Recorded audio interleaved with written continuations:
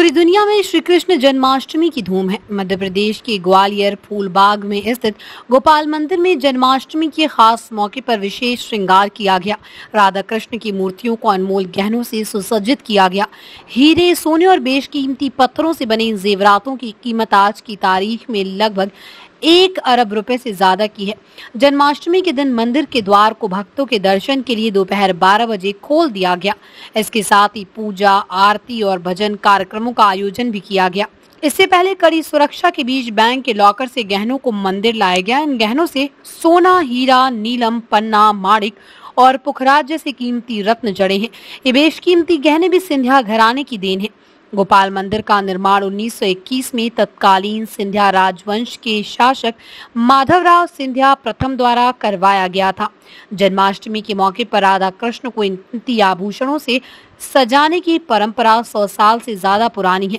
इसलिए भगवान के अद्भुत रूप के दर्शन करने के लिए देश भर से श्रद्धालु ग्वालियर के गोपाल मंदिर आते हैं। आपको बता दें कि पुलिस और नगर निगम कमिश्नर अमन वैष्णव की देखरेख में सुबह गहने बैंक के लॉकर से गोपाल मंदिर लाए गए। गहनों का उनकी सूची से मिलान किया गया। रात 12 बजे तक मंदिर में कई धार्मिक कार्यक्रम आयोजित किए जाएँगे।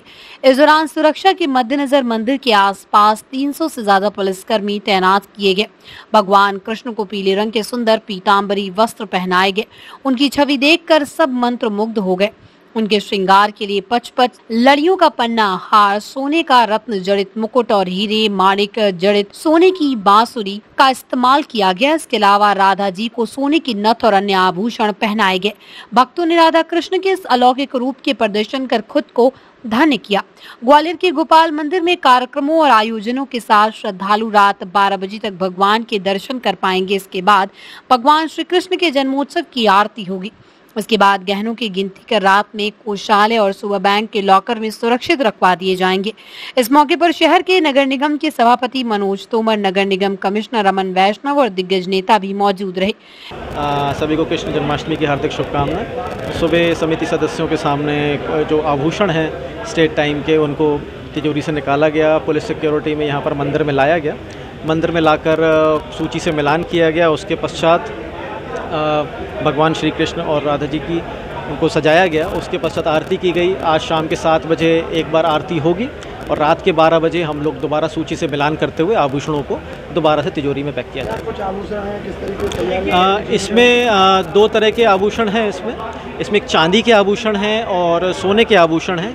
अलग अलग तरह के हैं। मुकुट है चूड़ियाँ हैं और आपकी थालियाँ हैं कटोरी हैं गिलास हैं अलग अलग तरह के आभूषण हैं जो कि स्टेट टाइम से हैं यहाँ पर और हर साल एक दिन के लिए ये निकाले जाते हैं तिजोरी से और उनको सजाया जाता है।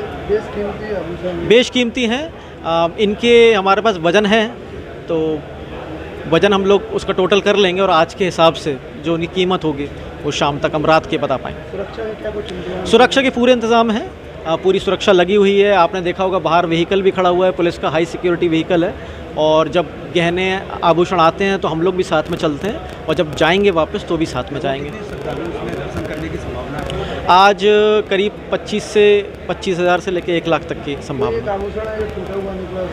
हाँ ये एक जो आभूषण है उसकी छोटी सी पिन है वो टूटी हुई है। वो शुरू से ही काफ़ी सालों से टूटी हुई है। तो उसको अलग रख देते हैं क्योंकि भगवान को भगवान जी को टूटा हुआ आभूषण नहीं पहनाया जाता है। तो वो हमारे पास बक्से में कैद है वो।